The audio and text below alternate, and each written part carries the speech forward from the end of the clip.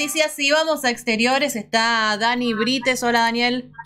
Gracias, Cristina. Eh, como anticipamos muy temprano, la lucha que vienen desarrollando los residentes médicos de toda la provincia eh, y de todos los hospitales de aquí de Capital también. Estamos con Sebastián Gamarra, eh, que nos va a comentar eh, en qué etapa está el diálogo con el Ministerio de Salud y cómo es la metodología en el día de hoy. Gracias, Sebastián, por, bueno, este, dispensar estos minutos. Gracias a ustedes, buen día.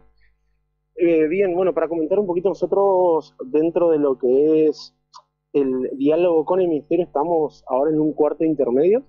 El día de hoy se está produciendo ¿no? en este hospital, en el hospital escuela y también en el resto de los hospitales de la provincia, lo que es una toma de servicio, una de, servicio, en los cuales, bueno, la guardia está presente en cada uno de los de las residencias, en cada uno de los servicios, pero el resto de los médicos que componen el equipo de residencia están en el hospital ante cualquier eventualidad, alguna emergencia.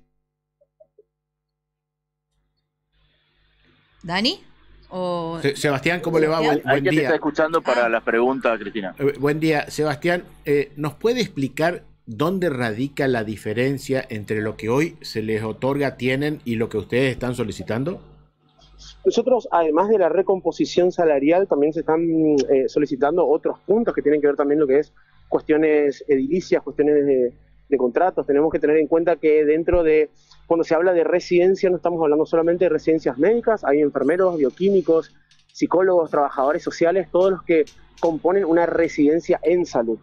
Eh, un acuerdo dentro de lo que es la recomposición salarial, tampoco se llegó a un acuerdo con el ministerio. Otra cosa a recalcar es que estas medidas son medidas completamente pacíficas. Eh, si ustedes pasan por el hospital escuela van a ver que hay residentes que están sentados leyendo, que están estudiando. No, en, ningún momento se planteó tomar algún tipo de, de mecanismo de fuerza que afecte a la población en general. De lo que ustedes, de lo que ustedes cobran eh, en la actualidad, la, eh, ¿qué es lo que le solicitan al, a la provincia? Nosotros a la provincia estamos solicitando una recomposición salarial, que es lo que se está sí, negociando. ¿De cuánto? Estamos ¿De cuánto?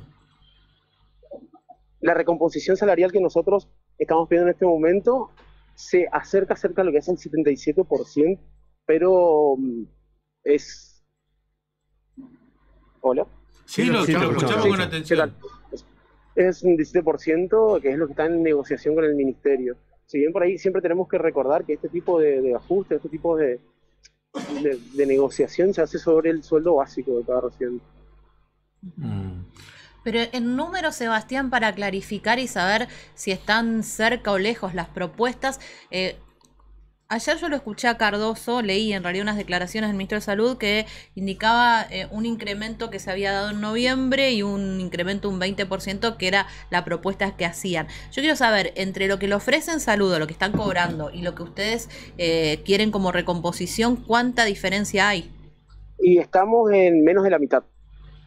Me, es muy, o sea, ¿me podés poner en números cuánto cobran y cuánto sería el piso? Tenemos que tener en cuenta que hay eh, residencias que cobran un básico de 80 mil pesos y hay residencias, perdón, que cobran un básico de 70 mil pesos y hay residencias que cobran un básico de 50 mil pesos. Está bien, pero ¿básico es de bolsillo o a eso se le suman otras cosas? O, tu caso particular, contanos si no te molesta. Se le suman, se le suman otros plus, digamos, que no, no entran dentro de lo que es el, ingreso básico de cada residente. Alguien me mencionaba que están en aproximadamente 100 mil pesos y que pretenden irse a 200 mil. ¿Esto es correcto? Claro, en algunas residencias eso sí sucede. algunas residencias están entre los, los 100 mil pesos y la, idea es avanzar hasta los 100 mil pesos. Digamos, lo que la recomposición que se está pidiendo es siempre sobre el sueldo básico. Pero que llevaría el salario final de bolsillo a ese monto que yo te menciono. Eh, esa es, ese es uno de los pedidos que se hicieron para eh, diciembre enero. ¿Y cuánto gana un, médico, digamos, no un residente, un médico eh, en la salud pública? Por ejemplo, allí donde vos ellos son médicos, ¿eh? Sí, bueno, perdón. Son, digamos, médicos residentes, por decirlo de alguna manera. Va a decir un médico de planta de 10 años antiguo. Yo más que nada para saber, porque a lo mejor ustedes le pasan, el, sí, si se da lo que ustedes pretenden, le pasan el sueldo a, un médico de planta con, más antigüedad. La verdad, la verdad es eso algo que tendrían que preguntarle a ellos. No estaría al tanto de cuánto es el sueldo de ellos o cuánto ellos están percibiendo en este momento. ¿Cuántos residentes hay? En total, en toda la provincia somos 570 residentes y es en todos los hospitales de la provincia donde se está llevando a cabo esta medida. De todos los rubros, digamos, esto que vos mencionabas, enfermería, eh, asistentes sociales y demás.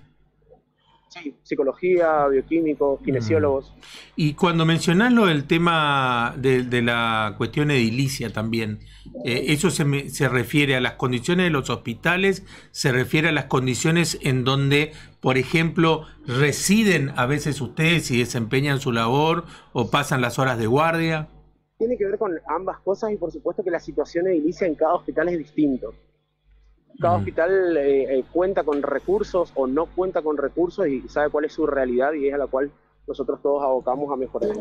Bueno, el cuarto intermedio, ¿hasta cuándo pasó? ¿Cuándo vuelven a reunirse? Nosotros solicitamos una nueva reunión el día de hoy. Hoy. Y les respondieron si van una a nueva dar... reunión. Lo que necesitamos, lo que vamos a esperar es una respuesta por medio del ministerio. ¿Pero está confirmada la reunión o todavía...? No, es una, va a ser una solicitud.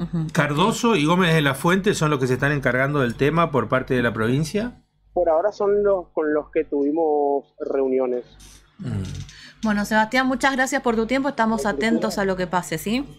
Eh, le quería simplemente preguntar, porque uno cuando dice retención de servicio, eh, siempre, bueno, es paro, retención de servicio. eh, es- este hospital hay mucha gente y otros hospitales, creo que en el pediátrico hay la mayor cantidad de residentes, es decir, ¿se deja de atender, no se deja de atender? Toda la guardia, o sea, el, el- sistema de guardia con el que está compuesta cada residencia sigue su actividad normal. Son los residentes que no están de guardia los que están realizando la retención de servicio, pero por supuesto nunca se va a perder la asistencia hacia lo que es la población. Gracias, Dani. Muchas gracias. ¿eh? Muchas gracias. Bueno. Bueno, este conflicto que, que se está dando y nos clarificaba un poco, están esperando una respuesta para, para tener una, una reunión en el día de hoy. No es errado la- lo que dijo Gustavo, porque lo que yo estuve averiguando ayer es que con lo, lo que ellos están pidiendo, en algunos casos irían por encima de lo que cobra un médico, digamos, de, de planta, por decirlo. Sí, de todas Eh, maneras, eh, eh, no sé, eh, 100 mil pesos me parece. Es muy poco para, para la dedicación que te, que te tiene, para la formación que vos tuviste que tener. no- digamos, no, Sus guardias son 36 horas también. eh. Son. son, son largas, son, Sí. son bastantes, por eso. Eh, pero bueno, ojalá encuentren algún punto de, Es que- de- de acuerdo y Es que se- estamos a- eh, atravesando